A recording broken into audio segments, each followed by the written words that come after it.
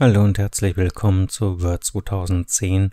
Heute geht's um das Einfügen eines Initials.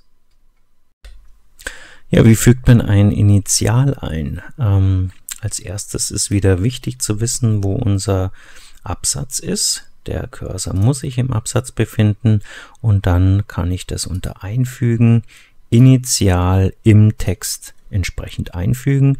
Standardgemäß ist das Initial drei Zeilen hoch, das lässt sich aber weiter ändern.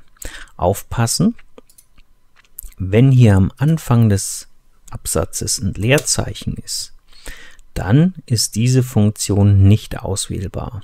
Also es kann passieren, dass man hier sagt, da hat man noch einen Text und man setzt hier einen Absatz, indem man hier zweimal schaltet. Dann beginnt, wenn man nicht aufpasst, dieser Absatz halt mit einem Leerzeichen und hier lässt sich das natürlich nicht auswählen. Also Leerzeichen weg, Initial lässt sich auswählen und jetzt machen wir das mal mit Initialoptionen.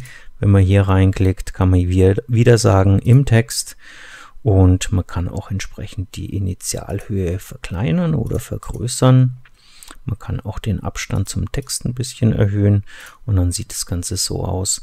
Ich könnte auch jetzt noch hergehen und sagen, ich möchte auch ähm, eine andere Schriftart. Ich könnte jetzt also hier entsprechend die Schriftart verändern.